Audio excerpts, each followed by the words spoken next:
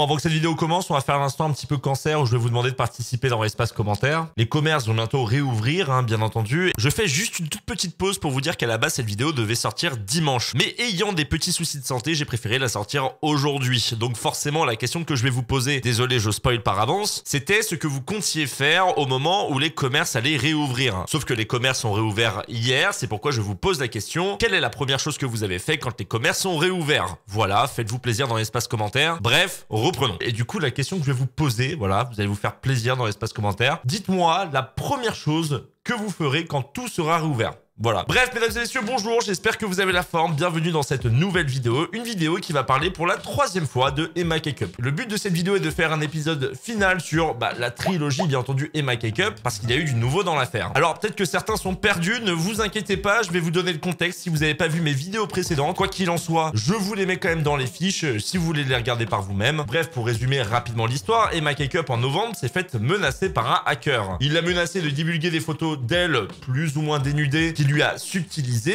si elle ne lui envoie pas 10 000 euros. Plutôt que de lui envoyer l'argent, puisque on le sait tous, il ne faut jamais négocier avec les terroristes, elle a décidé de créer un mime. Pour ceux qui se demandent ce qu'est mime, en gros, c'est plus ou moins OnlyFans. Alors moi, j'ai écrit OnlyFans dans le titre, bien entendu, pour que bah, vous sachiez directement ce que c'est. Je pense que OnlyFans, beaucoup d'entre vous connaissent, mais tout simplement pour diffuser justement ces photos-là que le hacker lui avait subtilisées. Pourquoi sur mime? Eh bien, tout simplement pour faire payer les pervers qui voudraient voir des photos d'elle complètement dénudées. Je me suis rendu compte qu'au final, les 7 photos postées sur mon mime était bah, d'ailleurs moins hard hein, que les photos qu'elle pouvait déjà poster sur Instagram. Du coup, je me suis demandé si cette histoire de hacker n'était pas un prétexte hein, pour créer un OnlyFans, mais pas trop assumé quoi. Il faut savoir également que je lui ai envoyé un message privé en lui demandant une photo de ses fesses, avec le prix également à côté, pour savoir si, bon, elle allait juste envoyer les 7 photos et après passer à autre chose, ou si au contraire, son mime allait lui servir dans le futur pour faire des discussions privées avec certains abonnés qui payent, poster des photos d'elle qu'elle ne pourrait pas poster par exemple sur Instagram pour se faire juste de l'argent en plus. Et j'ai pas eu de réponse. J'ai pas eu de réponse, donc du coup, je suis passé à autre chose. Sauf qu'un jour, j'ai reçu un message d'Emma Cakeup qui est le suivant. Super Demande acceptée Et oui, vous ne rêvez pas, Emma Cakeup m'a proposé 120 euros pour une photo de ses fesses. Une photo de ses fesses qu'on a déjà vue sur son Instagram en gratuit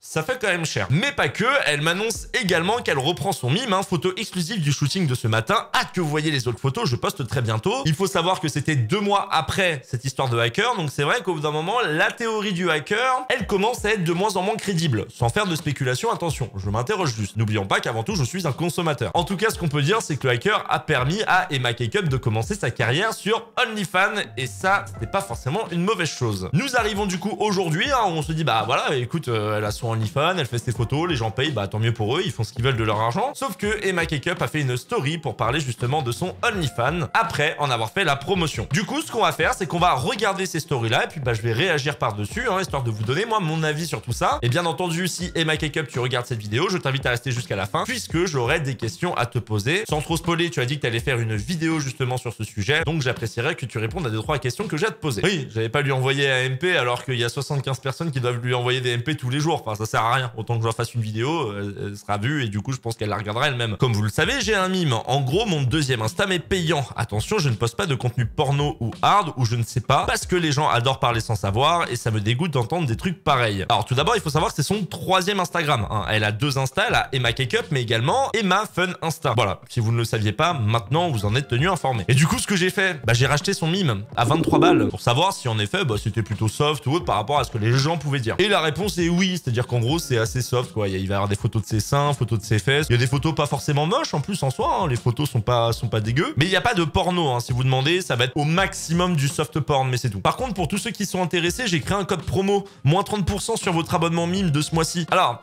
euh, je vais pas vous le cacher, j'avais déjà vu cette vidéo là et je suis un connard. En fait, je suis un connard parce que je savais qu'il y avait une réduction et je l'ai oublié quand j'ai acheté euh, son mime. Ce qui fait que du coup, j'aurais pu avoir une réduction de 30%, chose que je n'ai pas fait. Voilà. Ça fait mal au cul. Ouais, ça fait mal au cul. Vous n'êtes pas obligé de payer mon abonnement sur Mime. Si vous n'êtes pas intéressé, bien passez votre chemin. Voilà, je tiens quand même à le préciser parce que je sais que je vais avoir des commentaires. Je le fais d'avance parce que voilà, les gens vont dire eh, Passez votre chemin, je n'ai pas besoin d'avoir votre avis. Bon là, très clairement, on est sur du ouin ouin level 1, hein. on est quand même un petit peu habitué avec les influenceurs ou les youtubeurs. On anticipe les commentaires, pas très utile au final. D'ailleurs, il faut savoir, hein, plus tu fais ce genre de story pour parler de ces gens-là, et plus tu vas en avoir en réponse à tes stories. Hein. C'est mathématique. Vous savez pourquoi j'ai créé un mime? Car on a leaké mes nudes, voilà, Je suis sûre que c'est le photographe avec qui j'ai fait les photos qui les a vendues. Mais bref, une enquête est en cours. Donc voilà, on va essayer de trouver qui à l'origine, qui a sorti les photos. Et bref, tout ça pour dire que je vois qu'il y a plein d'influenceurs et je reçois souvent des fois des DM de meufs, hein, de meufs, qui me disent ouais, on sait tous très bien que c'était faux, c'était pour sortir ton mime. Mais MDR, qu'est-ce que je m'en bats les couilles La vie de ma mère, si j'avais eu envie de sortir un mime, j'aurais sorti. Alors là, mesdames et messieurs, nous avons affaire à plusieurs problèmes. Premièrement, utiliser l'histoire du hacker pour jouer sur cette corde sensible, c'est pas super. Ok, il y a eu un hacker, mais c'est du passé. Au bout d'un moment, les 97 photos que tu as postées sur ton mime actuellement, ce sont des photos que tu as décidé de poster toi-même. Il n'y a pas eu du tout de menace. Sans parler aussi du fait qu'elle m'a quand même pas mal de fois harcelé par message. Hein. Je vais vous lire très rapidement, ne vous inquiétez pas. Il faut savoir que les messages que j'ai reçus, c'est du 10 novembre au 14 mai, dont un message qui m'a fait rire avec les emotes. Reviens, je poste pratiquement tous les jours et je fais des médias privés. D'ailleurs, hein, je veux pas trop spéculer, mais il y a un moment où elle me propose de débloquer un média pour 48 euros. Hein. j'ai bien l'impression, hein, au vu de certaines photos de son mime que bah en fait c'est une photo qu'elle a déjà postée dessus. Donc en gros, elle me propose de payer deux fois plus cher pour une seule photo au lieu de 97 pour au final avoir une photo qui est dans sa timeline. Deuxièmement, parler des gens qui spéculent par rapport à cette histoire, tout en spéculant toi-même, parce que tu le dis, que c'est sûrement ton photographe, dans une story qui fait des centaines de milliers de vues, sachant que surtout, apparemment, l'histoire est en cours, donc tu ne devrais pas avoir en parler, laisse-moi pouffer de rire. Là, on est sur du culot monstrueux quand même. Et pour finir, l'enquête, elle est en cours, mais depuis septembre, quoi. Alors, il est possible hein, que ce soit un coup de pression que tu veuilles mettre aux gens en disant, mais non, mais l'affaire est en cours, ça veut dire qu'en gros, toute cette histoire est vraie. Je sais que beaucoup de youtubeurs adorent faire ça, mais ce qui est sûr, c'est qu'en tout cas, cette histoire n'avance pas, alors que même toi, t'as des soupçons sur le photographe. Si t'avais des soupçons sur le photographe, tu l'aurais accusé et tu l'aurais directement dit pour faire avancer la justice. Comment ça se fait que la personne n'a pas été interrogée dans l'histoire? Je ne comprends toujours pas. Au lieu de m'apitoyer sur mon sort, j'ai juste décidé de sortir les nudes moi-même et de les faire payer. Ah, voilà. Alors, je vous ai mis ce passage-là parce que le dernier message est rigolo. De toute façon, je ne pouvais pas les poster sur Insta, ça allait être supprimé. Et surtout, il y a des gens qui me suivent, qui n'ont pas envie de voir ça. Je vous avoue, j'ai rigolé parce que j'ai acheté justement son mime pour voir les 7 photos. Et à part devoir flouter ses tétons, il y avait absolument rien de problématique pour Instagram. Elle a des photos bien plus osées sur son premier et deuxième Insta. Et vraiment, je peux vous assurer que ces photos sur son mime n'étaient pas plus hard. Ce qui veut donc dire qu'elle ment. Et pourquoi je dis qu'elle ment? Parce qu'elle a plus d'un million d'abonnés, qu'elle est influenceuse. Elle sait comment fonctionne Instagram. Je suppose qu'elle s'est sûrement déjà fait supprimer certaines de ses photos. Elle connaît les règles. Elle sait ce qu'elle peut poster ou non. Elle n'est pas bête. Et nous arrivons justement à la fin. Je compte en faire une vidéo YouTube de cette histoire et montrer bien les preuves que tout ça est vrai et raconter mon histoire. Et c'est pourquoi, principalement, je fais cette vidéo. Pour qu'elle puisse répondre, bien entendu, aux questions que je me pose sur toute cette histoire. Parce que je vous avoue, cette histoire, je la trouve un peu bancale. J'ai jamais réellement fait de la spéculation et bien souvent, ce que je vais faire, c'est de l'interrogation. Parce que je pourrais pas dire si elle ment ou non. Je n'ai pas les preuves devant moi. Mais j'ai quatre interrogations et j'espère bien sûr que Emma Cakeup pourra dire directement y répondre en vidéo.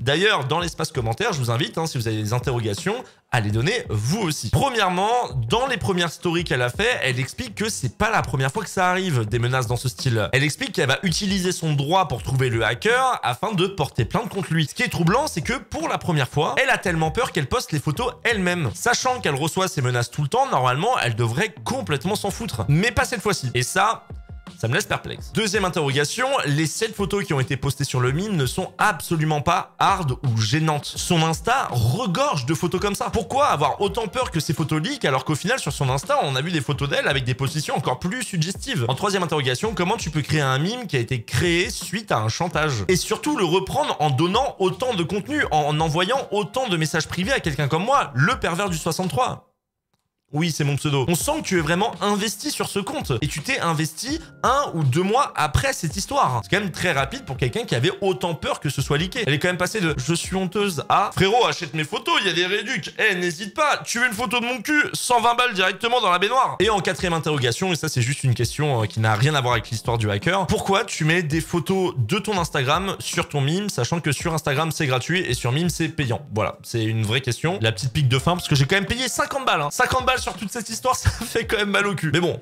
je l'ai fait avant tout pour la science et pour vous. Bref, voilà pour les questions. Si une vidéo de Emma Cakeup sort et, que je la trouve intéressante à analyser pour vraiment terminer cette histoire, et eh ben, c'est avec grand plaisir que je vous sortirai une vidéo sur ce sujet. Il faut savoir que moi je m'en fous que les gens créent des mines, des OnlyFans, ils font ce qu'ils veulent. C'est juste que je trouve cette histoire un peu particulière. il est vrai qu'aujourd'hui l'image de Emma Cakeup est un peu entachée. Il y a eu pas mal d'histoires sur elle, fait que du coup de moins en moins de gens ont confiance en cette personne. Et c'est pas un problème de créer un mime. Le problème c'est de ne pas l'assumer, de créer une histoire aussi grosse. Si elle a été créée, attention parce que ça, j'en sais absolument rien. En tout cas, ça a été un plaisir pour moi de faire ce petit refresh. J'espère que cette petite vidéo du dimanche vous aura fait plaisir. Si c'est le cas, je vous invite encore une fois à liker cette vidéo. Je vous invite également à vous abonner, bien entendu. En tout cas, merci de votre soutien. En tout cas, merci également de votre fidélité. Moi, je vous dis à très bientôt. Voilà, la prochaine vidéo, s'il n'y en a pas d'autres. Entre-temps, bien entendu, ce sera sur Thibaut InShape. J'espère qu'elle vous plaira. En tout cas, je vous fais à tous de très gros bisous. Prenez soin de vous, profitez de la vie.